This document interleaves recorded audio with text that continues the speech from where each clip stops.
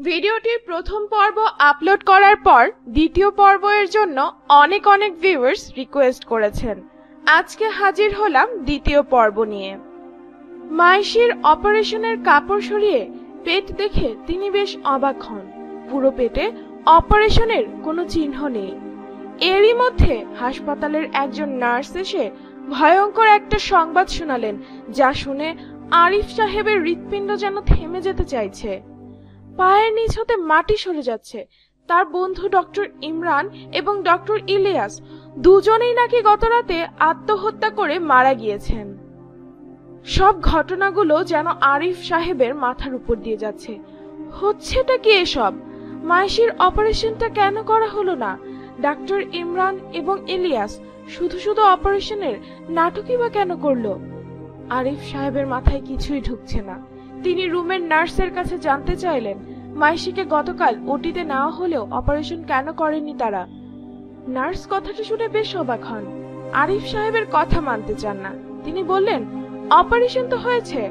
অপারেশনের প্রমাণস্বরূপ মাইশির পেটে সেলাইয়ের দাগ যেই দেখাতে যাবেন, তখন নার্স আরও বেশি বিস্মিত হলেন। মাইশির পেটে অপারেশনের কোনো চিহ্নই নেই। নার্স বিস্মিত কণ্ঠে আরিফ সাহেবকে বললেন হাই খোদা এটা কি করে হলো?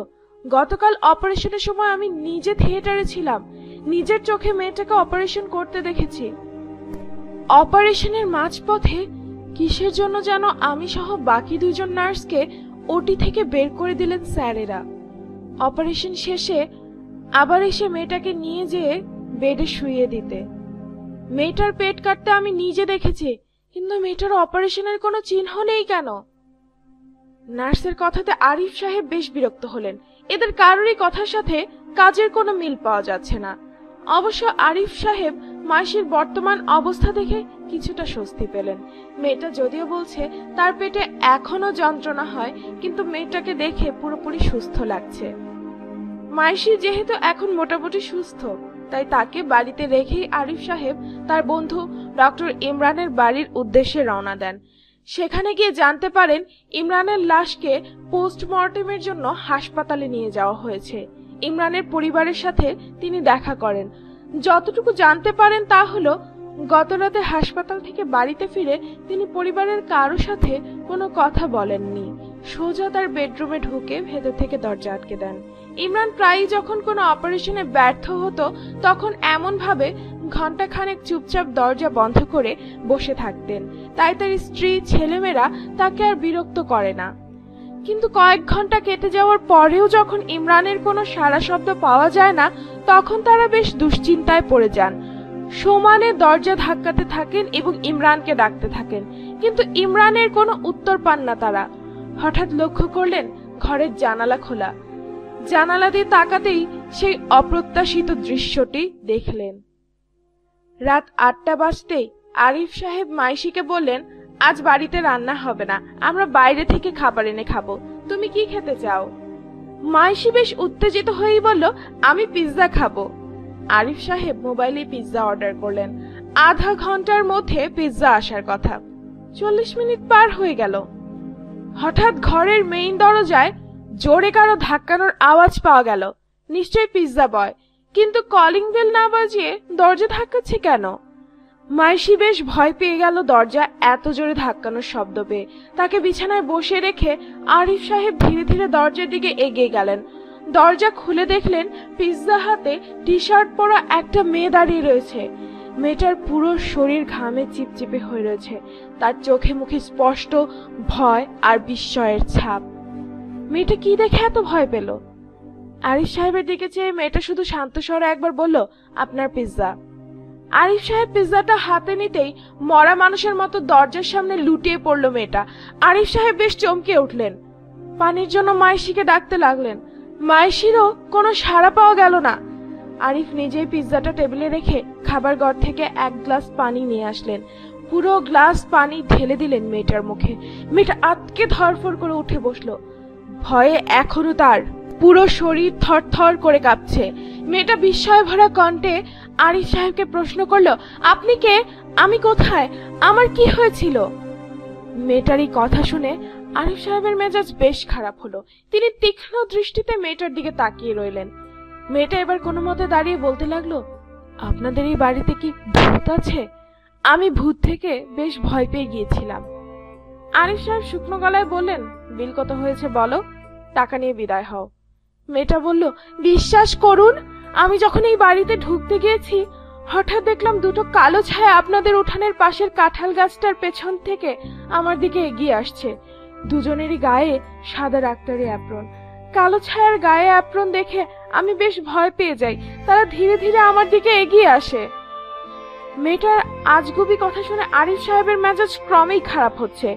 কিন্তু অ্যাপ্রন পরা ডাক্তারের কথা শুনে ভেতরে ভেতরে বেশ চমকালেন। গম্ভীরভাবে পিৎজার টাকাটা মেয়েটির হাতে দিয়ে বললেন, তুমি এখন চলে যেতে পারো। এইসব গল্প শোনার ইচ্ছে নেই আমার। মেয়েটা আমতা আমতা করে বলল, চলেই যাব। আমার একা যেতে ভয় করছে। আপনি আমাকে একটু বাড়ির বাহির পর্যন্ত পৌঁছে দিন। আরিফের ধীরে ধীরে অলৌকিকতার উপর যেন বিশ্বাস জন্মাতে শুরু করল। আরিফ স্বাভাবিকভাবেই মাইশির ঘরে গিয়ে মানসিকভাবে একটা বড়সড় ধাক্কা খেলো। মাইশি মেঝেতে পড়ে রয়েছে, আরিফ দ্রুত তাকে বিছানায় উঠালেন। গায়ে হাত দিতেই রীতিমতো চমকে গেলেন। জ্বরে গা পুড়ে যাচ্ছে। পুরো শরীর ভরা ক্লান্তি আর দুর্বলতার ছাপ। এই তো কিছুক্ষণ আগেও তো মেয়েটা সুস্থ, স্বাভাবিক ছিল। হঠাৎ কেন এমন হলো? মেয়েটার পেটে ব্যথা দেখে doctor Nasima Akter CT scan এবং আলট্রাসনোগ্রাফি করলেন। রিপোর্ট দেখে তিনি ডক্টর ইমরান এবং ইলিয়াসের মতো হতভম্ব হয়ে বলেন ও মাই গড এটা কি করে সম্ভব? একটা বাচ্চা মেয়ের গর্ভে ছয় মাসের বাচ্চা? আরিফ সাহেব বেশ রেগেই বলেন, আপনাদের চিকিৎসা বিজ্ঞানে এর কোনো ব্যাখ্যা নেই? নাসিমা আক্তার স্বাভাবিকভাবেই বলেন, অবশ্যই ব্যাখ্যা আছে। এটাকে চিকিৎসা শাস্ত্রে বলা হয় ফিটাস ইনফিটু। এর মাধ্যমে মায়ের গর্ভের যমজ সন্তানের একটি ভ্রূণের ভেতর অপর একটি ভ্রূণের বিকাশ ঘটে। পরবর্তীতে সেই প্রথম জন্মানো বাচ্চাটির গর্ভে দ্বিতীয় ভ্রূণটি পাওয়া যায়। তবে এটা খুবই বিরল ঘটে। পাঁচ লক্ষ শিশুর ভেতর একজনেরই এমনটা ঘটে। তবে আট বছর বয়সে এসে এমনটা হয় বলেই আমার জানা নেই। হলে অনেক আগেই বোঝা যেত। তাছাড়া পেটের ভেতর এত বড় একটা ভ্রূণ থাকলে পেটের বাহিরে তা জানান দেবে। কিন্তু ওর পেট দেখে তো তেমন কিছুই বোঝা যাচ্ছে না। যত দ্রুত সম্ভব এটা অপারেশন করতে হবে। তার আগে মেয়েটার জন্ম ও তার মা সম্পর্কে আমার কিছু জানতে হবে। এই মহিলা ডাক্তারের কথা আরিফ সাহেবের বোধগম্য হয় না। ডক্টর ইমরান এবং ইলিয়াসের মৃত্যুর পর মাইশির অপারেশনের কথা শুনে তিনি আগ্রহ হারিয়ে ফেলেন। তিনি যেন বুঝতে পারছেন এর কোনো লৌকিক ব্যাখ্যা নেই কারও কাছে। পুরোটাই অলৌকিক। তাই তিনি ডাক্তারকে বললেন, এই বিষয়ে তিনি পরে কথা বলবেন। ফি মিটিয়ে মাইশিকে নিয়ে তিনি আবার বাড়িতে ফিরে এলেন। আরিফ সাহেব আর চিন্তামুক্ত হতে পারছেন না। তিনি জানেন, মেয়েটা কিছুদিন পর পর ঠিক একইভাবে একবার অসুস্থ হয়ে পড়বে। পৃথিবীর কোনো ডাক্তারের সাধ্য নেই এ থেকে তাকে মুক্তি দিবে। এই রহস্যের শেষ কোথায়? মেয়েটা কি কোনোদিন আর সুস্থ স্বাভাবিক হতে পারবে না? এই ভয়ঙ্কর অসুখ কি তাকে ছাড়বে না? আজ যদি সৌম্যি বেঁচে থাকতো তার জায়গায়, তাহলে সেই পরিস্থিতিতে কি করত? আচ্ছা সৌম্যি কেন আত্মহত্যা করল? সেও কি মাইশির বিপদ আজ করতে পেরেছিল? তাই সে মাইশিকে সাহায্য করতে চাইছিল আর কোনো এক অজানা অলৌকিক শক্তি তাকে আত্মহত্যা করতে বাধ্য করে?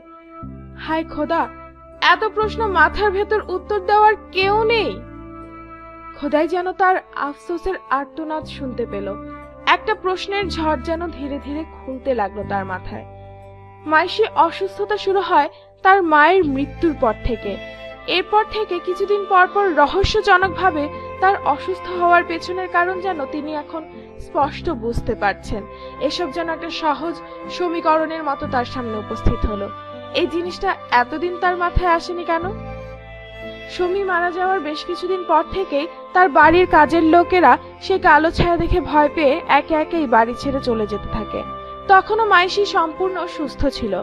কাজের লোকেরা চলে যাওয়ার পর বেশ কয়েক মাস কেটে যায় এই বাড়িতে শুধু তিনি আর মাইশি থাকতেন। তখনও মাইশি সুস্থ ছিল। সম্মি মারা যাওয়ার বছর খানেক পরে আরিফ সাহেব একটা কাজের মহিলাকে এই বাড়িতে রাখেন। তখনই প্রথমবারের মতো মাইশি এইরকম হঠাৎ অসুস্থ হয়। আর সেই কাজের মহিলাটি আরিফ সাহেবকে জানান, একটা কালো ছায়া নাকি তাকে এই বাড়ি থেকে চলে যেতে বলছে। মহিলাটি ভয়েই চলে যান। তার কয়েকদিন পরেই মাইশি সুস্থ হয়ে যায়। এর মাস কয়েক পরে মাইশিকে পড়ানোর জন্য একজন শিক্ষিকা রাখেন তিনি। শিক্ষিকা এই বাড়িতে আসার পরে তিনি মাইশি আবার অসুস্থ হয়ে পড়ে। মাইশি অসুস্থ থাকায় শিক্ষিকা তার পরের কয়দিন আর তাকে পড়াতে আসেননি।